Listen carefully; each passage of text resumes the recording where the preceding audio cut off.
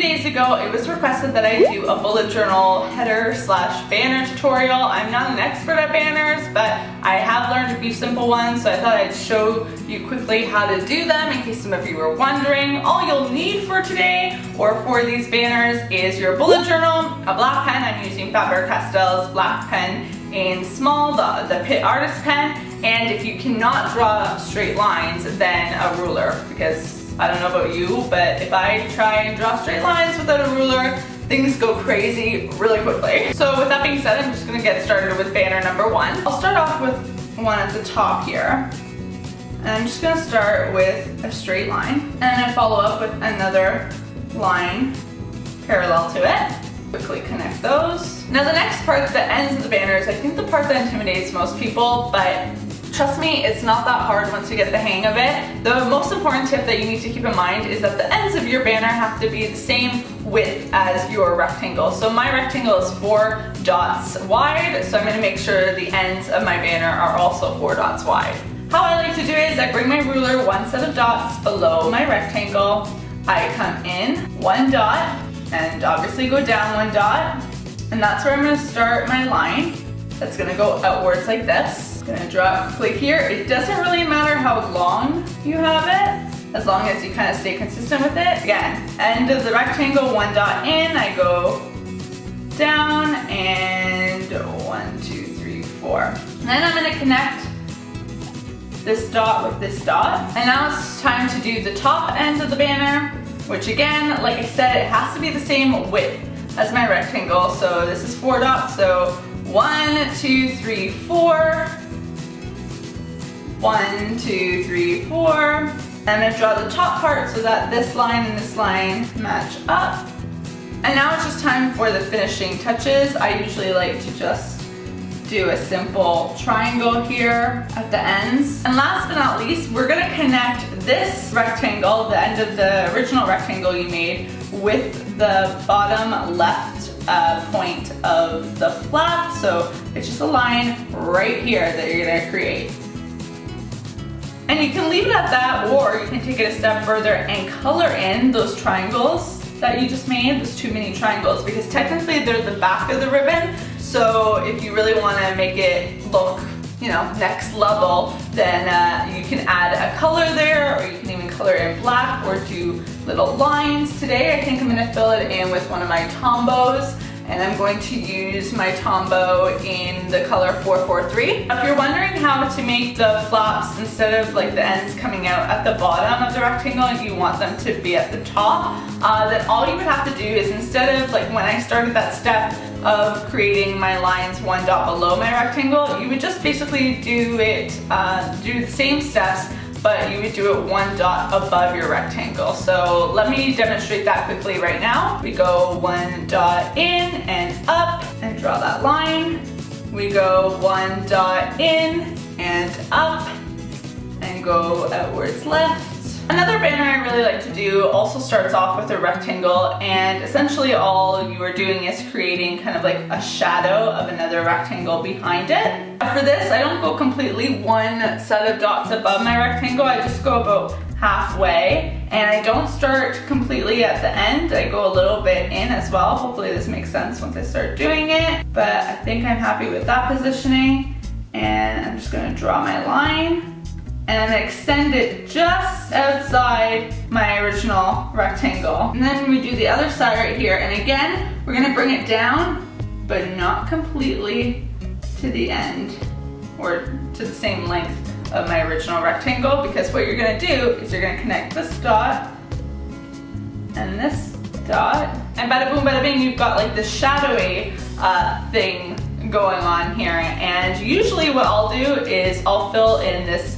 back rectangle with some diagonal lines. Another banner I like to do is basically the same as this one up here, but it's diagonal and there's not just one main rectangle, there's two. So I'm gonna show you how I do that as well. So as you can see, I made my first diagonal rectangle here and the way I did it was I chose a dot, I made a little point, and instead of going straight across and making my dot right here, which is what you would expect when making a normal rectangle, I instead brought it one dot up.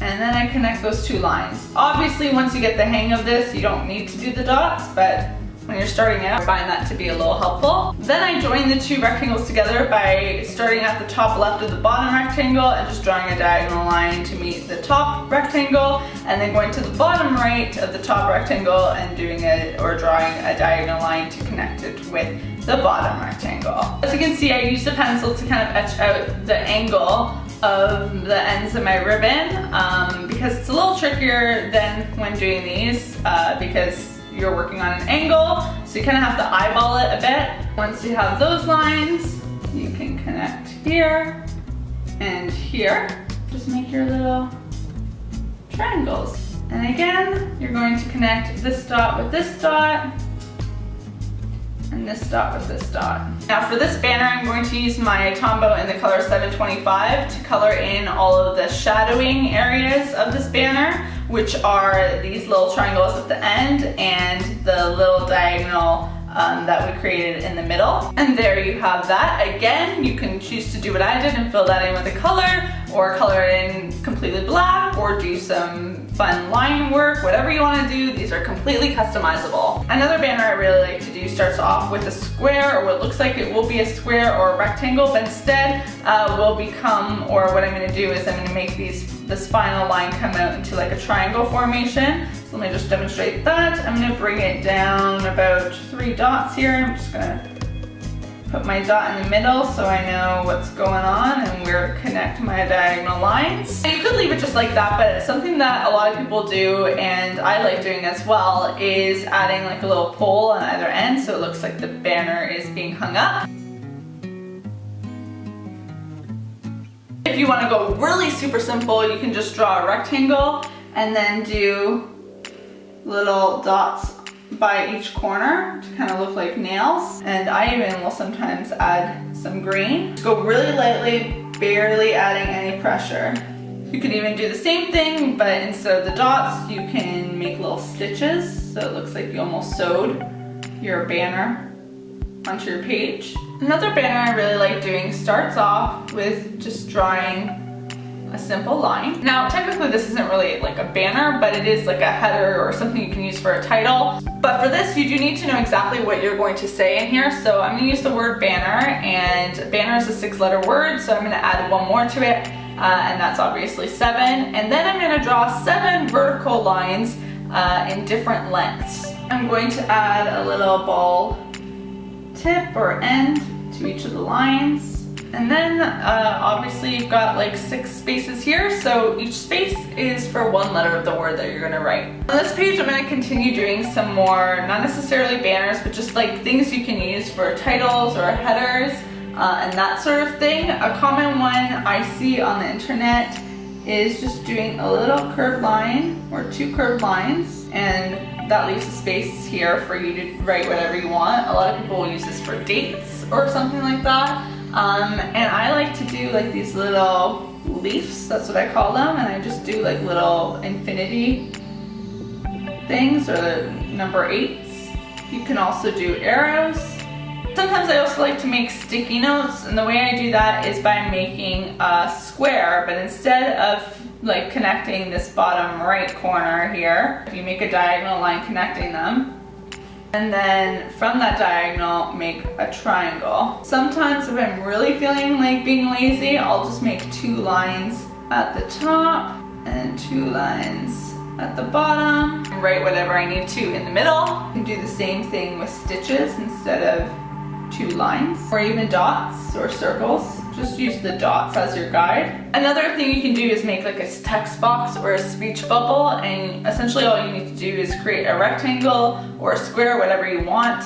Um, and instead of connecting it completely at the end here, you leave like a little gap so that you can make your little tip. To create the little end, I'm just gonna start off by creating a dot as a reference and this dot I put or I place uh, one dot down and half a dot to the left of the end of this line right here. And then I'm just gonna simply connect this dot with both ends.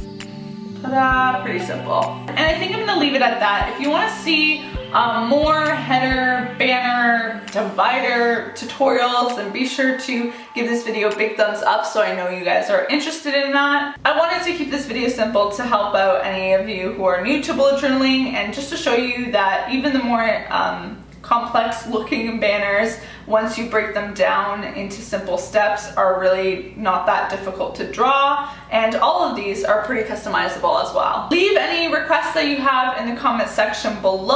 Also, reach out to me on social media with pictures of any banners that you end up doing from this tutorial or any banners you'd like to see me uh, show you how to do in future videos. And I will see you all soon with a new video. Bye everyone.